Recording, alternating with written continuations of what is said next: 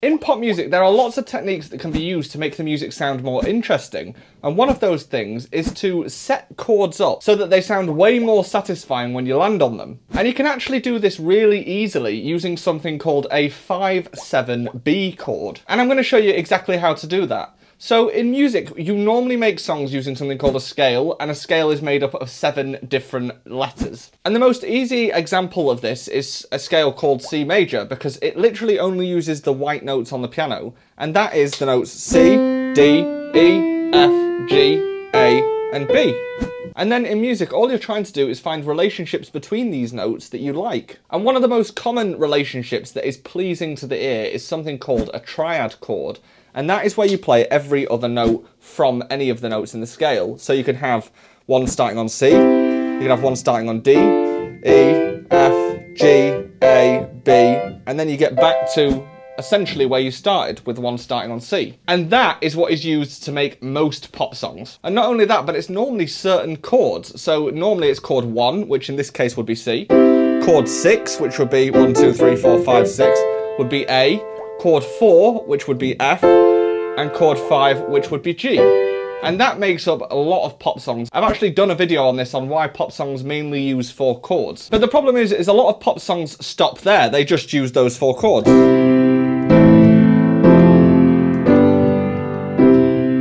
And one of the reasons why these four chords work so well together is because they're actually really closely related to each other and the keys are really closely related to each other. If you take a look at the circle of fifths, if we are in the key of C major, the next most sharpest key, which only has one sharp, is G major. So that's why G major is so closely related. On the other side, you have F, because F only has one flat, so there's only one note difference there as well. So that's why F is so closely related. And C major's relative minor is A minor, so that's why chord 6 is so closely related. So all of these chords and their respective scales all work really well together. And not only that, you can actually add a note called the seventh, which is where you play the seventh note from the beginning. So you've got note one, three, five, and seven, like this.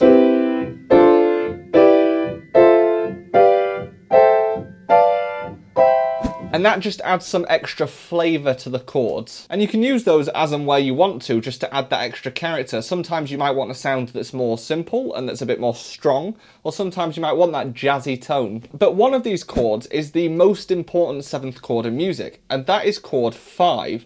And the reason for that is because in most classical music and classical music history, chord 5 to chord 1 has been a very, very strong combination of chords to make it sound more final and finished. So if I play chord 5 and then chord 1, it feels like you've arrived home, back to where you started, back to where the start of the piece was. And especially if you add that seventh to the 5 chord. It sounds really resolved and final, it sounds very classical. The interesting thing about this is because it sounds so resolved, you can actually do this with any chord in the scale and make every chord sound resolved and sort of final. So if I'm playing using the scale and the key of C major, if I want to go to a different chord in that scale, let's say I like the sound of chord 6, and I'm going to use that as my next chord, what I can do is I can find what chord 5 of that new chord would be. So if A is now chord 1, chord 5 would be an E. And if I play an E7 chord before I play the A chord, it's going to make the A sound really final, like this. And the reason for this is because you're kind of temporarily changing your scale. We've now gone from the key of C major to the key of A minor just because we've played that chord 5 in between. And because your ears are normally expecting to stay using the same scale, as soon as you add that interesting chord in to pivot you, you kind of get that eyebrow moment. Now, another thing that you can do to make it sound even more smoother is play a 5-7-B chord. Now, we've already covered what a 5-7 is, because that's just chord 5 with the 7th on it. But all B means is that you're using the second note of the chord as your bass note. So if I was to play an E7 chord with an E in the bass, that would be a 5-7A. If I played the G sharp in the bass, that would be a 5-7B. If I played the B in the bass, 5-7C. And a D in the bass would be 5-7D. Now, if you play 5-7-A, that sounds very strong and you're having to jump around a lot on the piano to get from C to E to A. But if you play the B note in the chord, you're going C, G sharp, and then A.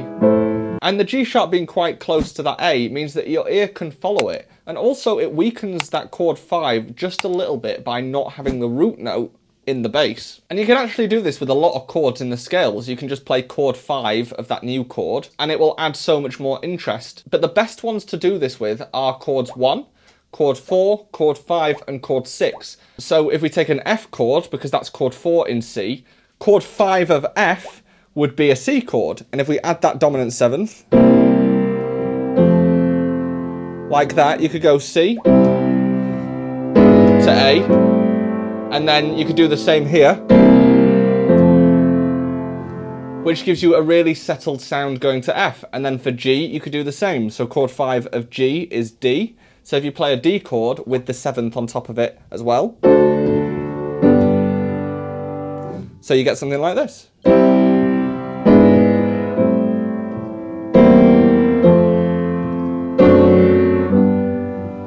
And all of those sound much more satisfying to me compared to...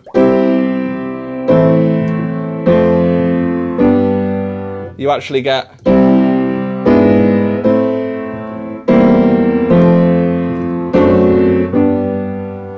And then to make it sound even more interesting, you could even add the sevenths to your normal chords. So you're essentially adding sevenths to everything because that always makes things sound better.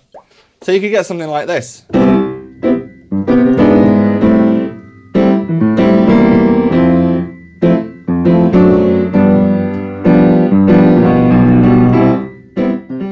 Want to know in more depth why most pop songs only use four chords, then check out this video and I will see you there.